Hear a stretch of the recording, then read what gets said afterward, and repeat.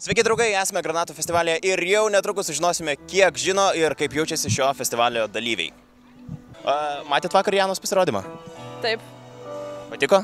tikrai. Tikrai. Bet ir Janos nebuvo. Man bus.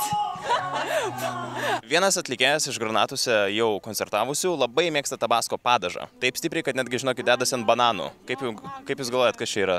Šitą girdėjau. Atspėkit, kuris. Arba kurie. Beatrič. Ką galvoji? Džiazu, manau. Kodėl džiazu? Nes į tokią biškį keistesnį jo.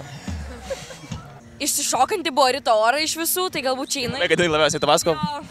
Tokia atrodo tokia labai tokia mėgstanti aštrius dalykus. Žiūrėk, viena atlikėja labai stipriai mėgsta tabasko padažą, kuri jau pasirodė. Kaip tu galvoji, kuri iš visų tų atlikėjų tai buvo? Net nežinau. Užsienietė, galiu tokių užuomenų duoti. Ryto orą. Bet o ne Rijana? Ne, nežinau. Kas čia, kas čia, kas čia. Lilas. Lilas, ne? Lil, kaip tu galvoji, Lilas galėtų tabasko padažą valgyti laisvai? Ne, nežinau, kas tas. Kaip tu galvoji, kuri čia yra atlikėja? Čia rimtai. Jis net jį ant bananų dedasi. Kodėl, Monik? Ką žinau, nu, tipo, mėlyni plaukai, nors dabar jau nebe mėlyni, nu, tai turėtų mėgti. Sakai, aštri mėgsta. Fryk biški, žinai. Džiazu. O ką, žinau, nežinau. Gali spėt, bet iš visų, kurios čia buvo. Tai ir Jana. Ir Jana. Bet tu matei vakar Rijanos pasirodymą. Mačiau, aišku. Patiko? Patiko, aišku. Ar patiko jums Rijanos pasirodymas vakar? Nebuvau. Nebuvai. Ne, miegojau. Klausyk, o matei Rijanos pasirodymą vakar? Jo, Patiko. dvi dainos. Bet žmonės sakė, kad žiauriai geras buvo. Galėtų būti geriau.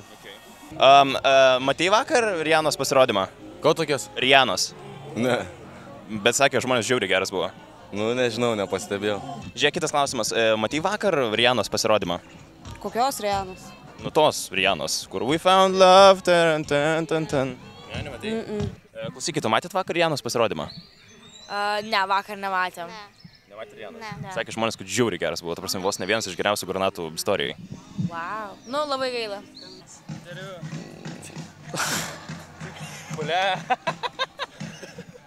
Tai visai neblogas gal festivalis buvo, ne? Tas žmogus pagerino kaip reikia.